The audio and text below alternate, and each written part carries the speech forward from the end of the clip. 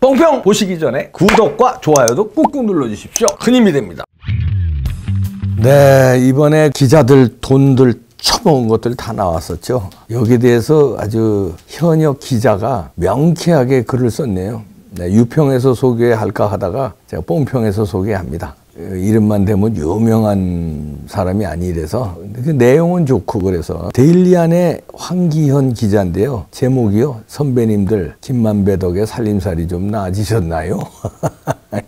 이제 수첩에서 썼는데 그 이번에 김만배 돈거래해서 100만 원에서부터 억에 9억까지 받은 놈들 예, 추잡한 이 언론 게이트 실체를 보면서 본인도 기자지만 자괴감을 느낀다. 내가 왜 기자를 선택했나 이런 생각도 들게 되네요. 그래서 이 글을 이제 썼는데요. 여기 보니까 자기는 이제 캥거루족이라고 그러네요. 캥거루족은 이제 부모 밑에서 사는 사람 캥거루족이라고 그러죠. 아마 한, 한기영 기자는 나이 서른 넘었는데 여전히 부모 집에 얹혀서 기자 월급 받으니까 생활비는 내고 있다 이렇게 썼는데 부모님들 왜 걱정 안 하시겠습니까? 그러니까 야 장가도 가고 뭐 독립해라 돈이 없다 이러면서 들어누웠다고 그럽니다. 근데 부모님 품 안에 있으니까 살림살이 걱정 필요도 없고 그러죠. 뭐 그래서 부양 가족이 아니라 그냥 생활비 뭐 일부 내면 대구 뭐방 청소 다 해줘. 엄마 아버지 밥 잘 차려줘. 그러니까 편하죠. 이런 캥거루족이 한 20년 전서부터 일본에서 사회 문제가 됐었어요. 아, 2, 30년 전서부터. 그러더니 드디어 한 10년 전쯤 되네.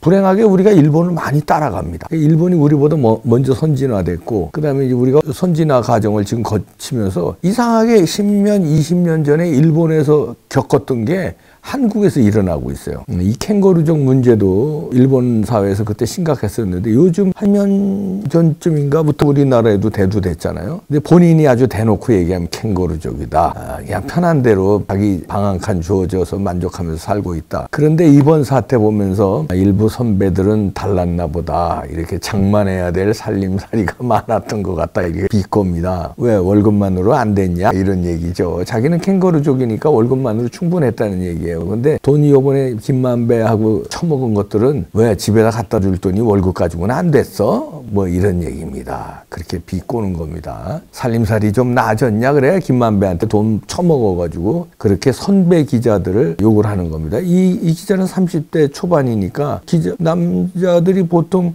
대학 졸업하고 군대 갔다 오면은 스물여섯 일곱 되잖아요. 그러면 이제 기자 생활하고 그러니까 기자 생활 그래봐야 일찍 취직이 됐어도 뭐 3, 4년 뭐 4, 5년밖에 안 된 기자네요. 그런 기자가 위에 데스크들 돈 수억 처먹은 걸 보면서 만감이 교차하는 거예요. 왜냐하면 그들의 지시를 받았거든. 야, 이건 맞아. 씨가 이걸 기사라고 써. 아직 지금 뭐 하늘 같은 선배니까 또 그래야지 또 거기도 또 서열이 있잖아요. 그렇지 뭐뭐 뭐, 아, 이거 좀 취재할까요 부장님? 그럼 야 그런 것은 뭐 되냐 그게 좋아하겠어?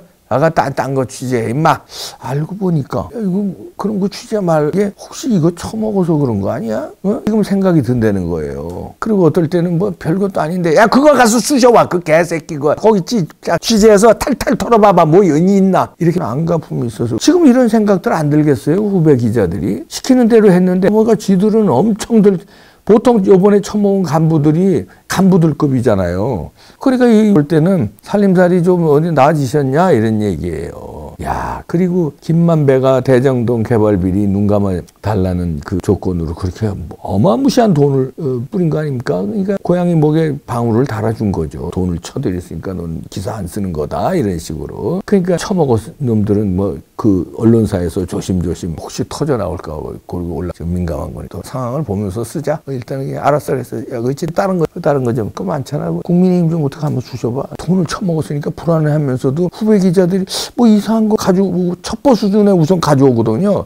가져와서 오다가 이제 야 써! 하면은 이제 쓰는 건데 어, 이거 그랬냐 이상하다 이거 큰 건데 이러면서도 쓰지 말래니까 안 썼지 뭐. 근데 지금 생각하니까 열통 터지는 거다 이거죠. 지금 그렇게 돈을 처먹었냐 이런 얘기죠. 근데 이 사람도 그렇게 썼네요. 기자는 그냥 보고 듣고 쓰는 사람이다. 돈을 대가로 펜을 놨다면 그 사람은 더 이상 기자라고 부를 수 없다. 예, 그리고 당연히 나도 그들을 선배라고 호칭할 수 없다. 아. 그래서 이래 최대 개발 비리라는 의혹을 받는 대장동 사건 기사보다 당장 내 앞에 놓인 현금 100만 원이 중요하다는 것을 인정한 꼴 아니냐. 기자는 원래 배고픈 직업이다 하지 않았냐 너들이 기자는 배고픈 직업이라고 해놓고 우리 후배들은 배고프게 만들고 너들만 배부르게 처먹었냐 이런 얘기예요 야 이런 얘기 들으니까 우리 저 어머님 얘기도 떠오르고 우리 누, 누님 얘기도 떠오르네요. 그 누님이 내가 이제 그 요즘은 유튜브 하니까 그렇지만 한참 방송하고 이럴 때 그러니까 뭐 논객으로 방송하고 이럴 때 있잖아요.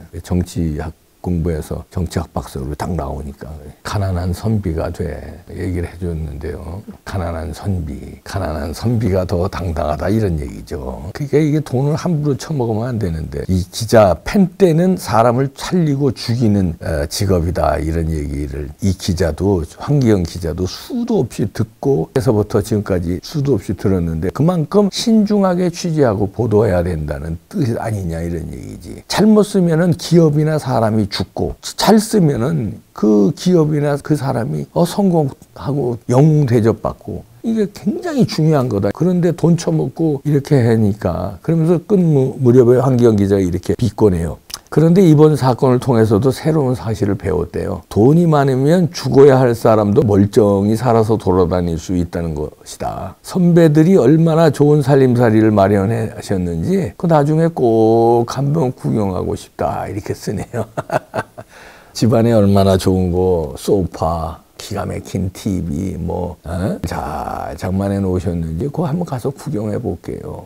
아, 이 얘기네. 그리고 돈이 많으면 죽어야 할 사람 멀쩡히 살아서 돌아다니고. 이 누구예요? 이재명이잖아. 가정스럽잖아요. 아, 제가 제 자랑을 하면 저도 지금 많이 좀 뭐 찌든 인생을 살아왔지만 그래도 한때 그 제가 그 기자 생활 초년기 때 워싱턴에서 했는데요. 그때 지금 뭐 한인 방송에서 이제 했습니다. 근데 취재를 나가면은 저는 몰랐어요. 한인 그 행사인데 한인 회장 그때 한인 회장입니다. 한인 회장이 뭐 행사를 하고 카메라 기자는 막 찍고 나는 뭐 이렇게 이렇게 가려고 이제 차에 타려고 그러는데 와가지고 양복 주머니에 뭐쑥 넣더라고요. 그리고 어, 달러. 뭐 미국이니까 당연히 달러지. 그 차 가지고 한인 회장 불러. 아유, 무게 회장님. 안 봤습니다. 취재 나온 사람, 아, 이게 거맙. 아니, 무슨 거맙이에요? 기자가 취재하는 게 무슨 거맙. 아, 들어왔어요. 들어왔는데 그 다음 날 그 한인 회장이 저희 방송국을 와가지고 사장실에서 저를 부르는 거예요. 아 사장이 기분 좋아가지고 아 봤지 그걸 왜그 물론 회장님 에? 무한하게 그걸 돌려줘가지고 여가지고 주게 만들어 이땐 받아야지 그러면서 사장 앞에서 그, 그 한인 회장 앞에서 봉투를 저한테 주는 거예요. 그 애들하고 그럼 회식이나 해. 그리고, 아, 그때 이제 받았죠. 잘 쓰겠습니다. 받아. 어, 뭐, 카메라 기사 하여튼, 우리 회식을 했는데, 그때 이제 그 방송국 사장님한테 에, 사장님 아, 안녕, 안녕하신지 모르겠는데 잘 계시겠죠. 권 사장님 이쁨을 받았어요. 봐라 이거 이거 돈 안 처먹는 놈이네. 이거 다 처먹는 건데 이거 어 이놈 봐라. 그래서 제가 아홉시 뉴스 앵커가 될 수 있었습니다. 물론 뭐, 그 뭐 오디션 봐가지고 이렇게 했지만 그렇게 기회를 주신 게 아 이거 돈 안 처먹는 놈이니까 큰 일을 맡겨도 되겠다. 그래서 저는 그거를 안 받은 게 오히려 전화 위복이 돼서 거기서 이제 아홉시 뉴스 앵커 그게 나중에 기회가 돼서 한국에 이제 방송 스카우트돼서 올 수 있는 그 기회까지 된 거죠. 그러니까 그 사건 하나가 그 다음에 일파만파 커져서 결국은 아니 그 영향이 미쳤다고 볼 수 있죠. 그래서 제가 오늘날 이렇게 여러분하고 방송하는 것도 거기 또 연관이 굳이 연관 굳이 연관을 시키면 그래 제 자랑 조금 했습니다. 근데 그때만 해도 의례로 이렇게 촌지를 줬어요. 취재를 나가면은 그건 뭐 누구나 마찬가지였어요. 메이 말고 이제 한인 언론들. 그러면 이제 근데 그게 얼마 안 됐어요. 지금으로 말하면 뭐 그때 뿌리였는데 300불. 그러니까 한국 돈으로 30 몇만 원이잖아요. 30 몇만 원. 근데 미국 달러는요. 그때 백불이 값어치가 지금도 그 값어치 비슷해요. 뭐 크게 그렇게 뭐 미국에서 그때 백불어치로 물건을 살 수 있는 게 지금도 그저 해요. 그런 거 보면 3, 40, 아, 이거 조금 더 칩시다. 그래. 그래, 한 50만 원이라고 치자. 그래, 그게 촌지였어요. 그런데 그것도 안 받는 기자들, 훌륭한 기자고 타성에 젖어서 받는 기자들 먹어봐야 그래, 50만 원이야. 그런데 감히 살 떨리기 9억. 중앙일보 기자는 9천만 원 처음에 먹었다가 1억도 먹은 게 드러났더라고 오늘 보니까. 1억. 무슨 팔 떨리기 어떻게 그런 걸 처먹냐 이거지. 예? 아 몇십만 원 저 밥값으로 거마비로 취재해고 뭐 이랬으니까 무슨 뭐 수고했다고 회식이라도 해라고. 이런 차원이 아니잖아요 이거는. 그러니까 이 후배 기자도 황기영 기자가 살림살이 좀 나셨어요 선배님들. 예? 가서 보고 싶대잖아. 그거는 애교가 아니잖아. 몇십만 원 이 정도는 애교라고 쳐 야, 뇌물도 그거 어마어마한 뇌물이잖아 도둑놈들아. 그러고서는 어쩐지 대장동이 안 밝혀졌다 있어. 그- 그때 밝힌 사람들이 누구야? 장영아 변호사라든가 김사랑 씨라든가 이재명의 형 이재선 씨. 이런 사람들은 기자가 아닌데도 밝히고 이러느라고 시민단체 활동하니까 밝히고 이러느라고 핍박과 고통을 받았잖아. 김사랑 씨는 병원에 강제 납치도 되고 이재선 결국 스트레스로 동생하고 그렇게 되다가 죽고 장영아 변호사도 뭐 숱한 고초 치르다가 이제는 뭐 오히려 그걸로 굿바이 이재명 책 써서 재미도 좀 보여줬지만 고생 많이 했잖아. 그때 기사가 안 나갔잖아. 시민단체들에서 그렇게들 대장동을 파헤치는데 처먹어 놨으니 그것도 간부가 처먹어 놨으니 안 나가지. 말단 기자가 처먹어봐야 지금으로 말하면 50만 원, 100만 원 처먹었겠지. 그런 건 한 번 안 나가지. 어떻게 매번 안 나가? 그건 간부가 처먹었다는 거거든. 기자가 오는 것마다 김만배는 그 생리를 아니까 간부를 처먹였지. 지가 법조팀장이니까 이 도둑놈들아. 에휴 싹 지금 갈아엎을 때가 많습니다. 국회 다 갈아엎어야 되고요. 언론 미안한 얘기지만 다 갈아엎어야 돼. 엎어야 됩니다. 간부들이 처먹은 데가 나온 것만 지금 뭐야 한겨레, 중앙, 채널A, 또 한국일보. 아, 이것만 보도된 것만. 아, 김만배가 거기만 처먹여 있을까요? 예? 거기만 안 돼. 싹, 싹 다 갈아엎어야 됩니다. 미안한 얘기지만 법조계 이거 권순일 같은 아유 대법관 그런 것들 아이고 아이고 그러니 부정선거가 밝혀지겠습니까? 싹 갈아엎어야 돼요. 선관이고 뭐 대법. 그래서 혁명이 필요하다는 거예요. 혁명을 군사혁명으로 하든가 지금은 무슨 혁명이에요? 사법혁명으로 법대로 죄진 놈들 싹 보내면 싹 갈아엎는 거예요. 이재명부터 문재인부터 보내고 죄진 판사들, 재판 거래한 놈들 싹 보내고 이 돈 처먹은 기자들 싹 쳐넣어야 돼요. 그리고 심한 데는 폐간시키고 이래야 어느 정도 혁명을 달성하는 거지. 이거 이렇게 민기작거려서 되겠습니까? 그 아킬레스건도 제가 수십 번 얘기했겠다. 부정선거 밝히면 그걸로 끝나는 거예요. 일단 금배지들 다 날려야 돼. 무효니까. 어떻게 되겠어요, 그러면? 진통은 있지. 진통을 겪고 그걸 뚫고 나가는 게 혁명이지. 좋은 게 좋은 거예요. 가만히 있어봐요. 그러면서 우리가 조금씩 잘하면 된다. 욕만 안 먹으면 되고 잘하는 척만 좀 하면 된다. 약이에요, 약에.